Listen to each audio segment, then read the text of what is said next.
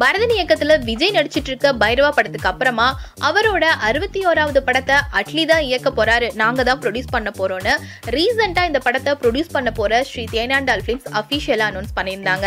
And இந்த படத்துல விஜய்க்கு ஜோடியா நயன்தாரா ஒன்னா நடிக்க போறாங்க அப்படின்ற விஷயமே இந்த படத்துக்கு ஒரு பெரிய எதிர்பார்ப்பை ஏற்படுத்தியிருக்கு. அண்ட் நயன்தாராவை இந்த படத்துல இன்னும் அழகாவும் இளமையாவும் காட்டுறதுக்காக அட்லி செயல்பட்டு இருக்கதாகவும் இதுக்காகவே வந்து ஸ்பெஷலா ஷூட்டிங் ஸ்பாட்லாம் வந்து செலக்ட் பண்ணி வச்சிருக்காரு அப்படின்ற மாதிரியும். அண்ட் நயன் இப்பிலிருந்தே வந்து இந்த படத்துல இன்னும் இளமையா தெரியறதுக்காக ஒர்க் அவுட் பண்ண ஆரம்பிச்சிட்டாங்க அப்படின்ற மாதிரியும் செய்திகள் ரீசெண்டாக வந்திருந்தது. அண்ட் இந்த படத்துல நயன் மட்டும் கிடையாது இன்னொரு டாப் ஹீரோயினும் இருக்காங்களாம். ஒரு படத்துல ரெண்டு டாப் ஹீரோஸை வேணா நடிக்க வச்சிடலாம்.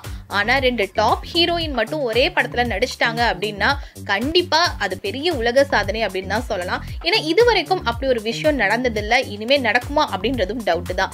இன்னொரு அந்த டாப் ஹீரோயின் யாரு அப்படின்னு கேட்டிங்கன்னா காஜல் அகர்வாலா. இவங்களையும் இந்த படத்துல கொண்டு வரலாம் அப்படிங்கிறதுக்காக இந்த படத்தோட டீம் வந்து இப்போ அவங்கள அப்ரோச் பண்ணலாம் அப்படின்ற ஐடியால இருக்காங்களாம். ஸோ காஜல் அகர்வால் வந்து ஏற்கனவே விஜய் கூட துப்பாக்கி ஜில்லா படங்கள்ல நடிச்சிருக்காங்க. அண்ட் நயன்தாரா இதுக்கு முன்னாடி வில்லு படத்துல விஜய் கூட நடிச்சிருக்காங்க. ஸோ இவங்க இவங்க ரெண்டு பேரும் இப்போ ஒரே படத்துல கமிட் ஆக போறாங்க அப்படின்னு வந்திருக்க விஷயம் ரசிகர்கள் கிட்ட இந்த படத்தை பத்தி இன்னும் ஒரு பெரிய எதிர்பார்ப்பை எகிர வச்சிருக்கு. ரஜினி படம் அத்தனை கோடி வசூல் சாதனையை புரிஞ்சிருக்கு.